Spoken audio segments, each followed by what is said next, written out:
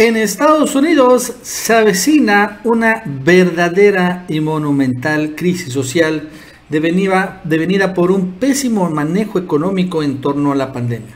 Porque Estados Unidos eh, se mega hiper endeudó en medio de la pandemia para rescatar a los grandes corporativos, ¿no? En particular los grandes bancos en Wall Street, le metió billones, hasta trillones de dólares a todas las grandes empresas farmacéuticas, también les metió miles, miles de millones de dólares, obviamente a los grandes corporativos, por ejemplo las aerolíneas, etcétera, etcétera. Y si bien alguna poquita, una pizcachita le cayó a los enfermos y ciudadanos eh, de estadounidenses en estos apoyos en desempleo o estos cheques famosos, lo cierto es que fue menor. Y ahora, después de esto, llegó la hora de pagar.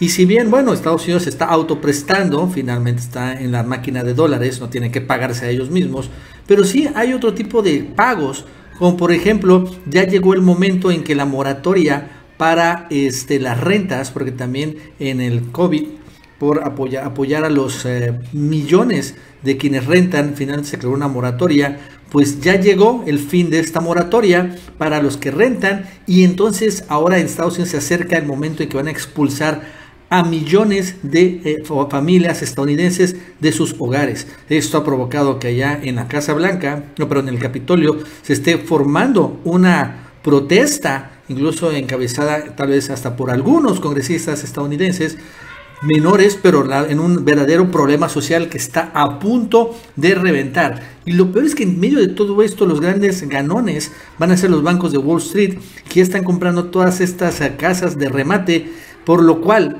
¿no? Finalmente no va a seguir ese problema. Y al mismo tiempo también el Tesoro de Estados Unidos este, empieza a paralizarse y van a tener que recordar distintos programas de inversión como jubilación, beneficios de salud para jubilados, etcétera, etcétera. O sea, este manejo, pésimo manejo que hizo Estados Unidos en torno a la pandemia, en donde privilegió el rescate a los grandes bancos, a Wall Street, a las grandes corporaciones, privilegió darle dinero a Jeff Bezos, a Elon Musk, a Bill Gates, a todos estos grandes farmacéuticas, y dejó por un lado a los estadounidenses de promedio a los eh, que pagan rentas, tienen trabajos normales, que no son multimillonarios, ahora va a provocar una verdadera crisis social que podría estar estallando en los próximos semanas y meses. Bueno, esto más nos va a contar Aaron Díaz. Aaron, ¿qué tal? ¿Cómo estás? Buenas tardes. Hola amigas y amigos, bienvenidos a un video más. ¿Y de qué tema vamos a hablar el día de hoy?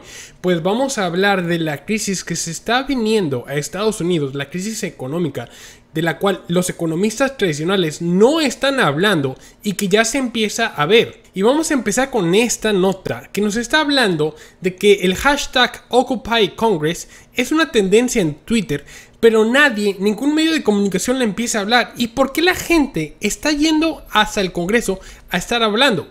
Pues lo que pasa es que la gente se siente indefensa, ya que ya se acabó la moratoria legal que los protegía a los inquilinos de que no pudieran ser desalojados gracias a las deudas que hayan tenido ya sea en renta o ya sea con el banco en las hipotecas no podían ser desalojados. Y la gente ahorita se siente indefensa porque siente que no puede todavía pagar estas obligaciones legales que tenían y aún así los van a empezar a desalojar.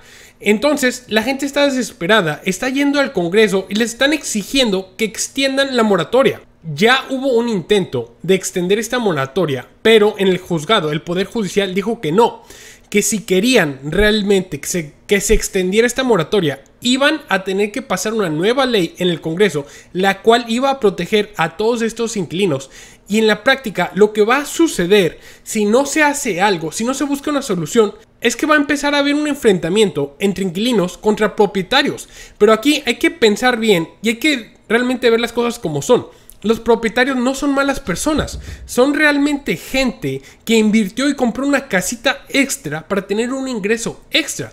Lo malo aquí es que estos propietarios, la mayoría de, de todas estas rentas, están perdiendo, llevan dos años perdiendo dinero porque no están recibiendo alquileres y no pueden sacar tampoco a las personas que van a rentar esas casas, esas habitaciones, ya que no los pueden sacar, ya que por ley no lo pueden hacer. Entonces hay que entender los dos bandos para realmente ver qué está sufriendo cada uno. Y aquí realmente la pregunta es, ¿por qué si el juez le había dado tiempo a la Cámara, al Congreso, a los demócratas, para que solucionaran algo, ¿por qué no hicieron nada? ¿Por qué no buscaron alguna solución?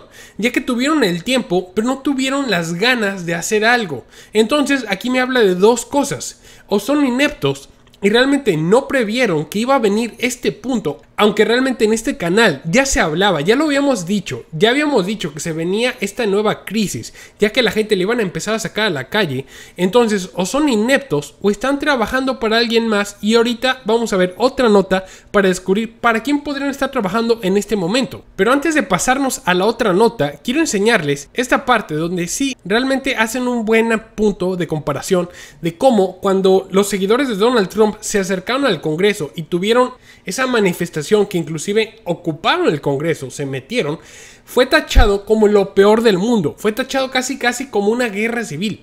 Pero en este caso, como son demócratas, son aliados de los demócratas, los que se están manifestando, no están diciendo nada, aunque eso sí, no lo están compartiendo, no están haciendo nada grande porque no quieren que se vea que también con los demócratas ya empieza a haber un descontento social. Y no se los digo yo porque es mi opinión, lo digo porque literal Twitter bloqueó el hashtag Occupy Congress estaba haciendo tendencia y de la nada desapareció. Le hicieron un shadow baneo como se dice normalmente. Así que ahora sí hay que preguntarnos. Entonces, o son ineptos o son corruptos. Porque no hay de otra. O son ineptos porque realmente no previeron nada de esto, aunque se veía, se veía desde hace meses que iba a llegar este problema. Lo alcancé a ver yo, y yo no soy político, seré economista, pero no político, y lo alcancé a ver o bien son corruptos y están trabajando para alguien más. Y tenemos esta clase de notas donde nos dice que Wall Street está comprando viviendas familiares. Y dice, es que los cheques de alquiler son demasiado jugosos para ignorarlos. Entonces, ¿quién está comprando? Nos dice que las viviendas están siendo compradas por los fondos de pensión. Esto se puede deber ya que la Fed o la Reserva Federal bajó las tasas de interés al 0%, entonces los bonos no están generando realmente un ingreso y los fondos de pensiones que antes normalmente en una economía normal invertían en los bonos de gobierno, ahora como realmente no generan ganancias y se ven obligados a tener que arriesgar capital ya sea en acciones o como en este caso en comprar viviendas. Entonces están siendo los fondos de pensiones, las empresas de inversión y los bancos de Wall Street. Lo que aquí no nos dicen es que estos bancos de Wall Street son empresas como BlackRock y Blackstone entonces, volvemos a lo mismo. Aquí nos dice que están adquiriendo viviendas familiares tanto en Europa y Estados Unidos a un ritmo alarmante. Y aquí el problema es realmente entender.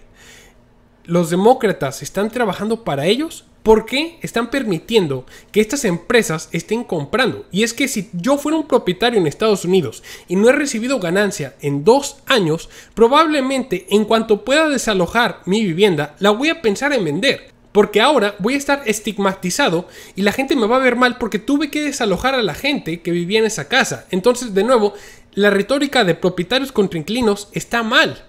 Porque realmente aquí los malos son los banqueros de Wall Street que van a ganar a pesar de todo esto. Los propietarios van a querer vender, van a querer salirse de este problema, de este meollo, y los banqueros van a entrarle al rescate, van a comprar las viviendas. Y aquí fíjense cómo este CNN nos intenta decir que esto realmente sería bueno, va a mejorar los estándares del sector del alquiler y ofrecerá más opciones de vecindarios deseables. Y esto me recuerda a una parte del gran reseteo donde el FMI nos decía que para el 2030 no tendrás nada y aún así serás feliz. Y si tú pensaste en que el gobierno debería de hacer algo, también no tienen dinero. De hecho, ahorita el Tesoro de Estados Unidos está llegando a su tope de deuda y el Congreso, de nuevo, no ha aprobado para que Estados Unidos se pueda endeudar todavía más. De hecho, los republicanos no quieren que pase esto y esto va a causar todavía más crisis social, ya que el Tesoro de Estados Unidos no va a poder invertir en fondos de discapacidad y jubilación del servicio civil, fondos de beneficio de salud para jubilados del servicio postal y una sección de jubilados para empleados federales. Entonces, no hay dinero, el gobierno no tiene dinero, está quebrado, está virtualmente quebrado. Se están avivando las manifestaciones y los únicos que están ganando de todo este descontento social, de toda esta catástrofe, caos, están siendo los banqueros de Wall Street. Así que bueno, espero que hayas encontrado este video informativo. Yo te deseo que tengas un excelente día. Nos vemos el día de mañana. Cuídense. Bye.